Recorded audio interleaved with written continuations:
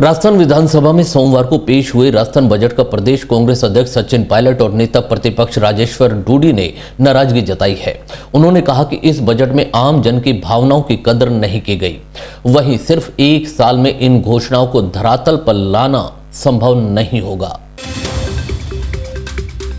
Pilot और डूडी ने सरकार पर निशाना साधते हुए कहा कि प्रदेश के किसानों का संपूर्ण कर्जा माफ़ होना चाहिए था। इसके बजाय कांग्रेस के धरने के बाद सरकार ने लघु और सीमांत किसानों का पचास हज़ार का कर्जा एक बार के लिए माफ़ किया है। उनका कहना था कि कर्ज में दबे किसान आत्महत्या कर रहे हैं। कांग्रेस सड़क से लेकर विधानसभा तक सरकार को घेरेगी, जब तक कि किसान का संपूर्ण कर्जा माफ़ नहीं हो जाता। आज जी और बीजेपी की सरकार ने अपना अंतिम बजट जनता के समक्ष प्रस्तुत किया है। इससे पहले मैं बजट के बारे में अपनी पार्टी की राय रखूँ।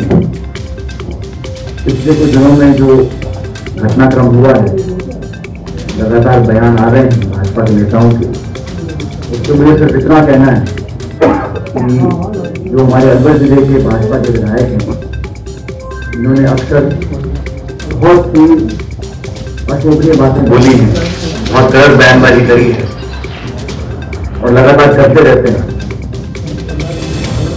चार साल तक तो वो करते रहे, बेबाकी से उन पर कोई कार्रवाई हुई नहीं।